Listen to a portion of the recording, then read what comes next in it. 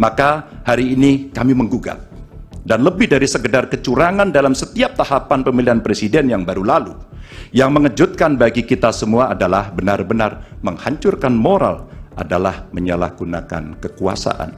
Saat pemerintah menggunakan segala sumber daya negara untuk mendukung kandidat tertentu, saat aparat keamanan digunakan untuk membela kepentingan politik pribadi, maka itulah saat bagi kita untuk bersikap tegas bahwa kita menolak semua bentuk intimidasi dan penindasan. Kita menolak dibawa mundur ke masa sebelum reformasi, kita menolak pengkhianatan terhadap semangat reformasi.